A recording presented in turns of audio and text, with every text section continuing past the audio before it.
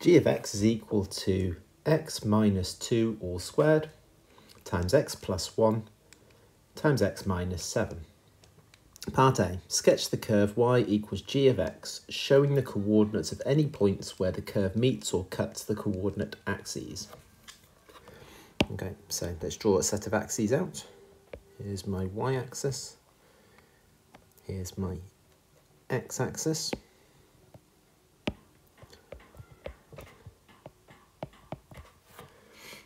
Right, I can see that I've got a repeated root when x equals 2. I know it's a repeated root because of the squared there. I've got another root when x equals minus 1.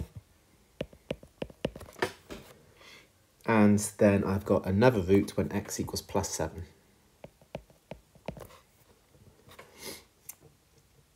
I can work out the y-intercept because that's going to be when x equals 0. So if I make 0 here, here and here, the 0 minus 2 is minus 2 squared times the 0 plus 1 times the 0 minus 7 which gives 4 times 1 times minus 7 which is minus 28 which I'm going to put there roughly. The only other thing I need to consider is the shape of this graph.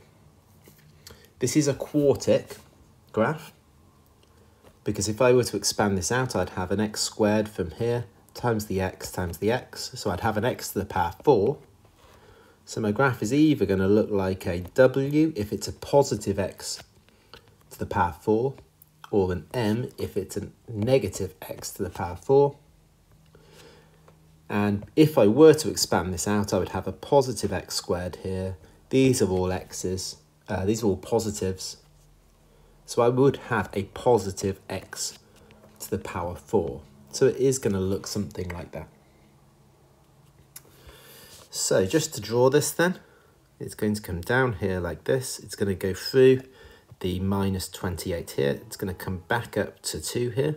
Remember, 2 was the repeated root because of the squared. So that means it's going to come back down there from 2. And then back through at 7 there. Um, I've drawn mine like that. If you drew yours slightly differently, so you might have drawn yours, oops, you might have drawn yours maybe like this instead. That's fine for now if you've drawn it like that. We will a little bit later on figure out how to work out the exact uh, coordinates of that point. So you could have drawn yours like that if you wished, um, but I'm doing mine like that. Both are fine for now. Right.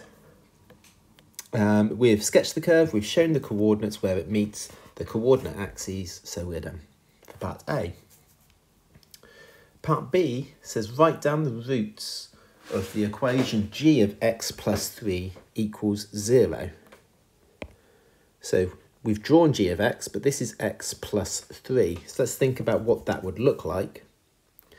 That's going to take the g of x graph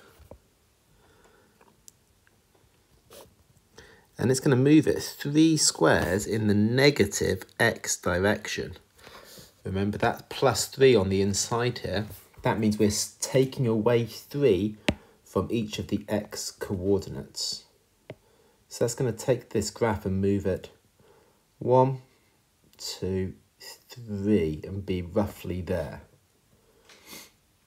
So the new roots will be, well the 7 take away the 3 is 4, the 2 take away the 3 is minus 1 now, and the minus 1 take away the 3 is minus 4.